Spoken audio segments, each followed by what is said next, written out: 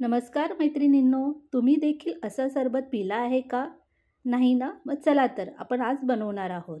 तर सगळ्यात अगोदर काय करायचं? एक मोठा बीट मी कापून घेतलेला आहे एक गाजर कट करून घेतलेला आहे आणि एक मोठा टॉमॅटो देखील बारीक कापून घेतला आहे. एक डाळिंबाचं सगळे दाणे मी काढून घेतले आहे. सगळ्यात अगोदर आपण मिक्सरचं भांडं घेतलं आहे. त्यामध्ये डाळिंबाचे दाणे नंतर बीट गाजर आणि टॉमॅटो यामध्ये घालून घेतलं आहे. अगदी थोडंसं मी मीठ घातलं आहे याच्यामध्ये आणि पाणी घालून हे मिक्सरला आपण बारीक करून घ्यायचं आहे.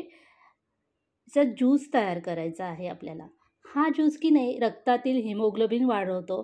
स्मरणशक्ती देखील वाढते. आपली त्वचा आहे ती चमकदार होते आणि आपल्या त्वचेवरती सुरकुत्या जर आल्या असतील त्यासुद्धा कमी होतात.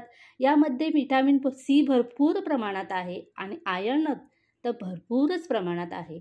म्हणून काय होतं की डॉक्टर नेहमी आपल्याला सांगतात आपल्या शरीरातील हिमोग्लोबिन कमी झाला तर काहीतरी तुम्ही बीट वगैरे खा टॉमॅटो खा पण आपण असंच खायला कंटाळा करतो. म्हणून अशा पद्धतीने जर आपण ज्यूस बनवून पिला तर खूपच छान लागतो.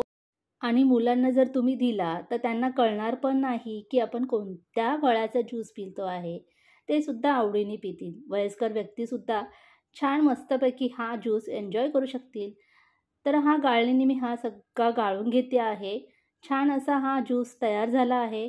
मस्तपैकी एक काचेचं ग्लास घ्यायचं. त्यामध्ये थोडासा आपण बर्फसुद्धा घालू शकतो थंड होण्यासाठी. आणि हा ज्यूस पिऊन घ्यायचा. मस्त आपला ज्यूस तयार झाला आहे. तुमच्याही शरीरातील हिमोग्लोबिन कमी झाला असेल तर अशा पद्धतीने ज्यूस नक्की एकदा करून बघा आणि एन्जॉय करा. जर माझा हा व्हिडिओ तुम्हाला आवडला असेल तर लाईक कमेंट आणि चॅनलला तुम्ही सबस्क्राईब केलं नसेल तर पटकन सबस्क्राईब करून घ्या.